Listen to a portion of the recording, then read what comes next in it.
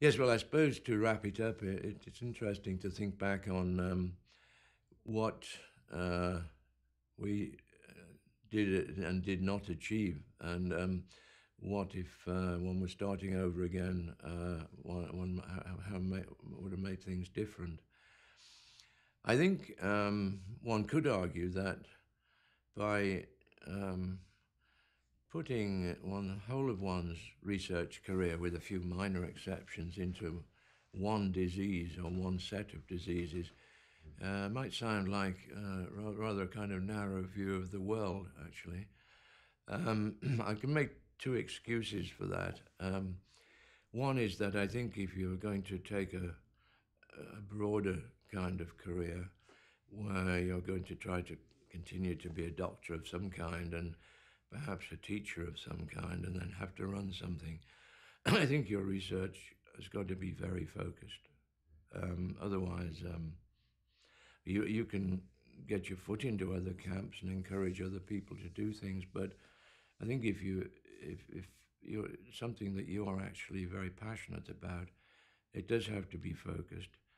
I suppose the problem with the thalassemia field was that well, there are two problems. I mean, could argue that it was all done in that exciting period in the, between 60 and, and the end of the 80s. We knew the molecular pathology.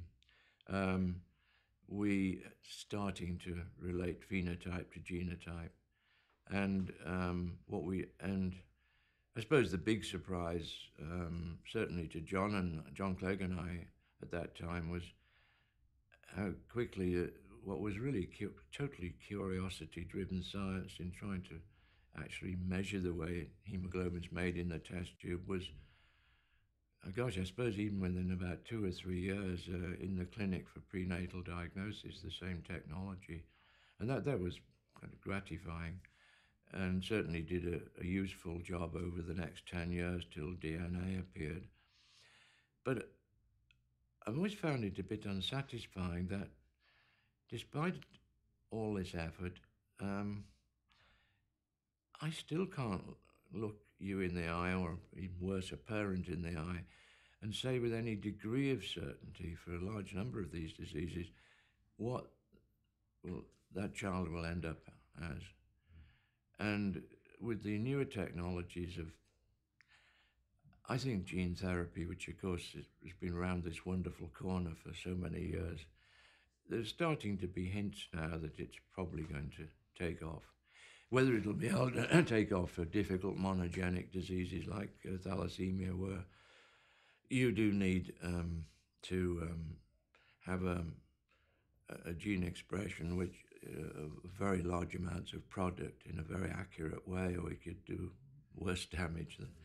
Um, I think that's still quite a way off, actually. But um, so when that comes, and in that very difficult run up period in the experimental phase, um, I find not knowing with much all that much precision in a large number of cases still, uh, say in sickle cell disease, for example, the justification for doing experimental science is going to be, quite difficult, actually.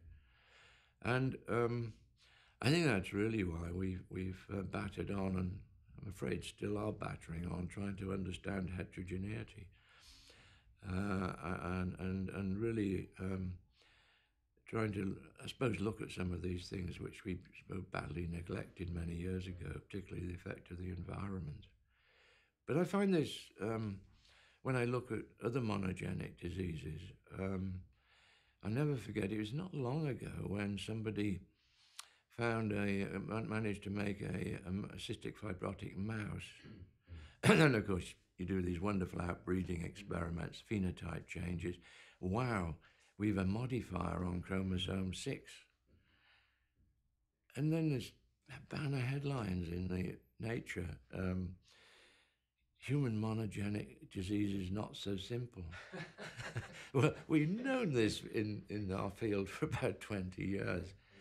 But, um, and then you could argue, well, how far do you really want to go? It's almost self evident. But I think the breadth of the genetic modifiers in, in the globin field um, at least was a, a, kind of indication to the folk working on complex disease mm. of some of the complexities they were going to run into. And the fascinating question for me, I think, in the complex diseases, um, so much of that information is going to be interesting but not practically useful, mm. um, is whether, as is, seems to have happened in the cancer field, at least some of those susceptibilities may lead to different approaches to therapy. And it's, again, very early, isn't it? But it, there are just hints now from the diabetes field, for example, that, and um, and uh, even from one or two of the inflammatory diseases that uh, that may be the case. So um, I don't know. Um, I, I, don't think I have too many regrets that I kind of stuck at this one disease. Um, it's been a, an extraordinary model for human molecular genetics in that sense, really. And um, I, I, remember about about three or four years ago, the Nature Genetics crowd asked me to write on the kind of one of the essays on this subject. And um, it was interesting because I hadn't thought about it. I mean, we were doing it, but not it, the big picture. And I suddenly realized that we didn't even have a nomenclature to start describing this phenomenon.